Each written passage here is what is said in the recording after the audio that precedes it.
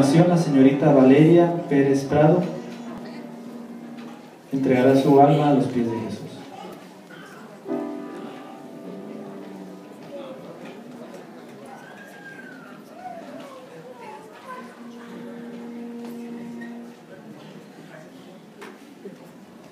Para Dios no hay coincidencias ni casualidades. Sencillamente hoy había dispuesto que Valeria fuera bautizada y que su papá estuviera en esta fecha. Algunos de ustedes saben que ya nuestro hermano Roberto Carlos adelantó sus maletas y en Querétaro está tratando de nuevamente continuar su vida. Increíblemente esta fecha del bautismo de Valeria, a él le tocó estar aquí. Y es porque Dios, Dios lo quería así, hermano Roberto. Ayer la hermana Angélica me decía, pastor, pero no va a llegar. Apenas va a llegar el sábado temprano su vuelo. Y usted no se preocupe de eso. Tenemos un hombre que corre las millas bien rápido, ¿verdad? Lo noto en el hermano porque viene asustado. Gracias, hermano Israel Beltrán, que fue al aeropuerto por nuestro hermano y lo trajo más que a tiempo, a la ceremonia de cita. Valeria, aquí está tu papá. Añorando el día en que nuestro Padre Celestial nos dé también la bienvenida. Qué privilegio, Carlos. Un día yo también con este uniforme fui bautizado. Y hoy, después de muchos años que Cristo ha expiado mis pecados cada día, Valeria, Dios promete también perdonar tus pecados cada día que tú requieras ese perdón. Cristo Jesús entrega tu justicia, a su justicia a tus manos. Por eso tengo el privilegio este momento de bautizarle para el perdón de los pecados de esta jovencita como ministro del Evangelio de la Iglesia Adventista del Séptimo Día, le bautizo, hermanos, en el nombre del Padre, nombre del Hijo y del Espíritu Santo. Amén.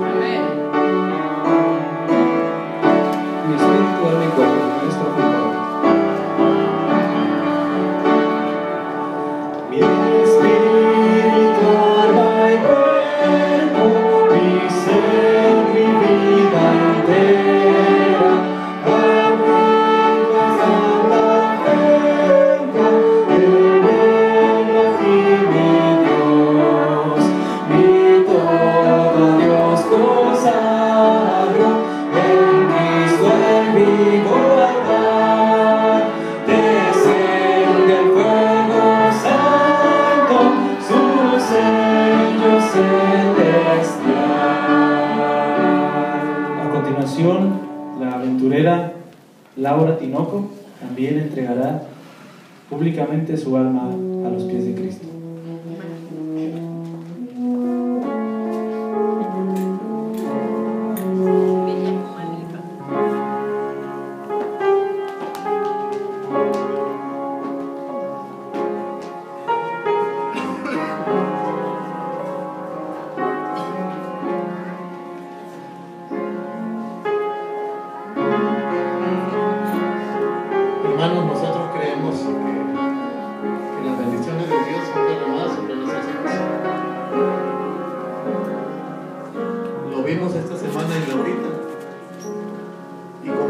Confirmamos eso en este momento porque es el Espíritu Santo el que mueve nuestros corazones a una acción, como Pablo llama locura, para los que creemos en Dios, es más que locura, es entregar nuestras vidas a nuestro Salvador y que Él decida de ahora en adelante por nosotros. Todos conocemos a Laurita. También la conocí en una experiencia particular para ella. Se rompió su piecito, algo así, la enyesaron, ¿verdad?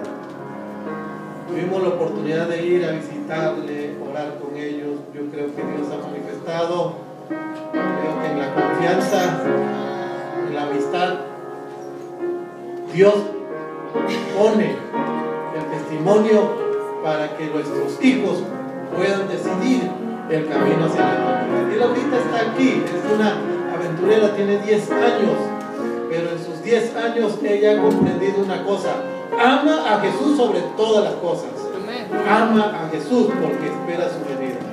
Y por eso Laurita, en el nerviosismo que tenemos, tengo el privilegio de bautizarte para perdón de tus pecados como ministro del Evangelio en el nombre del Padre, en el nombre del Hijo, en el nombre del Espíritu Santo. Amén. Amén. Segunda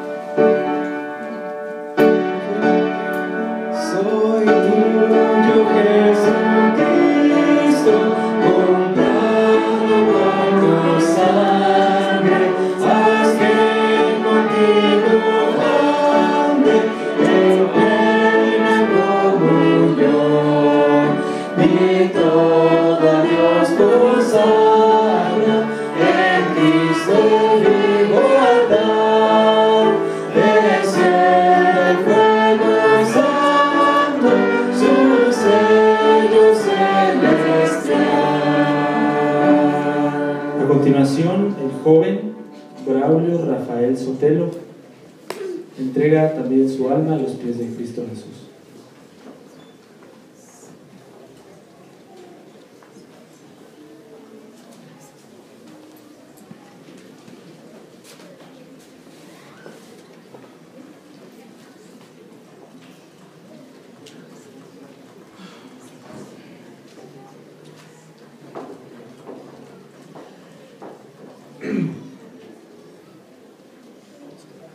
Cada entro a esta pila o a cualquier pila, a cualquier lugar donde bautizamos,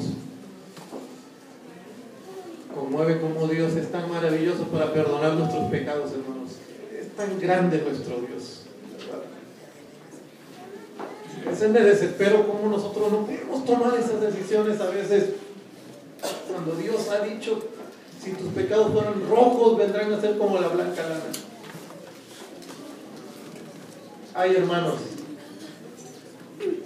la valentía de los aventureros y conquistadores creo que es un ejemplo para nosotros.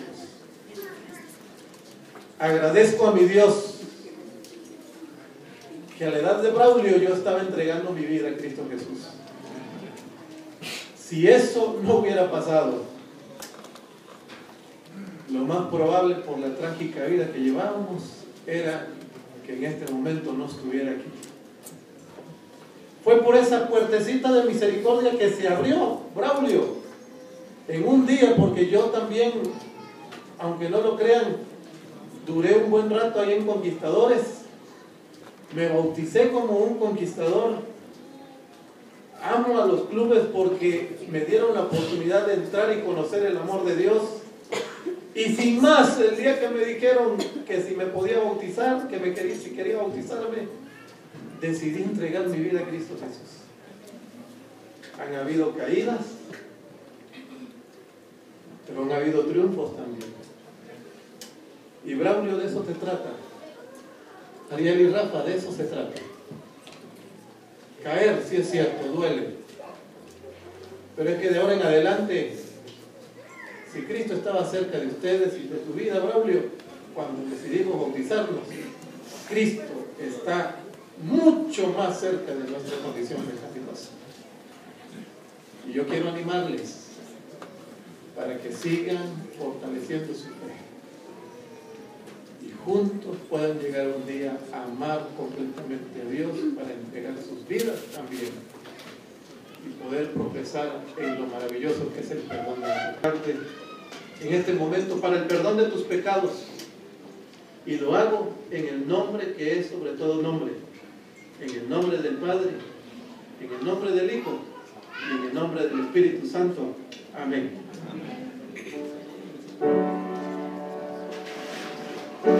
Tercera. Espíritu divino